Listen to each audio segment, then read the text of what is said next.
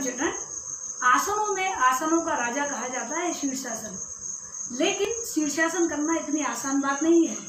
बच्चे हँसी मज़ाक में कई बार आपने छोटे बच्चे देखे होंगे सिर्फ़ नीचे और पैर ऊपर कर लेते हैं। लेकिन इसको हमें प्रॉपर तरीके से करना चाहिए। कहीं भी नहीं करना चाहिए। खाली पेट इस आसन का अभ्यास करना चाहिए। बहुत ज़्यादा समय तक इस आसन में नहीं रुकना चाहिए। और जब भी हम इस आसन को करें तो हम ये देख लें कि हमारे आसपास कोई भी ऐसा सामान्य वस्तु ना हो, जिससे गिरने पर हम टकरा कर हमें चोट लगे।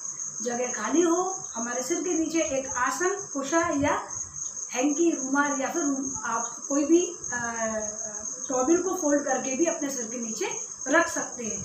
आप डायरेक्ट कभी भी नहीं करेंगे और सर्वप्रथम अर्ध हलासन का अभ्यास करेंगे।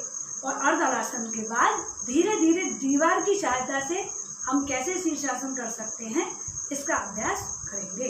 आइए हम करते हैं अर्ध शीर्षासन का अभ्यास।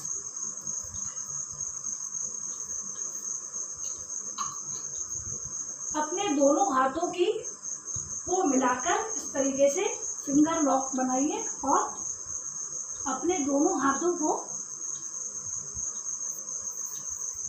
सामने की ओर रखकर गर्दन को सीधा रखें और अपनी जो आपका जो सिर है, उसको दोनों हाथों के बीच में कर दें और धीरे धीरे अपने पैरों को पास में रखें।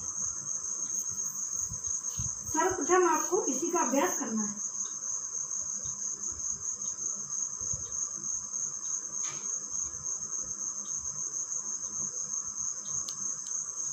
धीरे से वापिस अब हम दीवार की सहायता से करने का प्रयास करेंगे।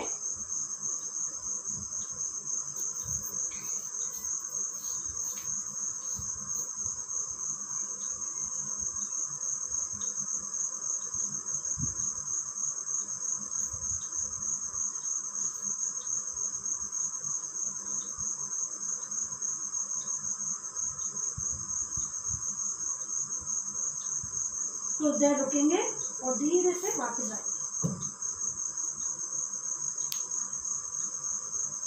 तो पहले आप बैलेंस बनाए दीवार की सहायता से और उसके बाद धीरे धीरे दीवार का सपोर्ट ना लेते हुए अपने खुद के बैलेंस पर शीर्षासन करने का अभ्यास करें। सायरम